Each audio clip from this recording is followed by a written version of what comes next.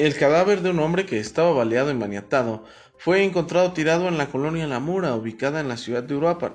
Según trascendió en la labor periodística, el fallecido está en calidad de desconocido y el cuerpo fue trasladado a las instalaciones del Servicio Médico Forense a la espera de que sus deudos lo identifiquen. El acontecimiento ocurrió en la calle Azucena, casi esquina con Clavel. El perímetro fue acordonado por elementos de seguridad pública en apego a la cadena de custodia para evitar la contaminación de los posibles indicios. En tanto, el personal de la Fiscalía Regional de Uruapan emprendió las diligencias de ley. Contactos policíacos dijeron a este medio que Laura Oxiso es una persona de entre 25 y 30 años de edad, misma que vestía un pantalón de mezclilla color azul, una playera color verde agua. Asimismo, el difunto no traía documento entre sus ropas que permitieran saber sus generales, según comentaron las fuentes allegadas al tema.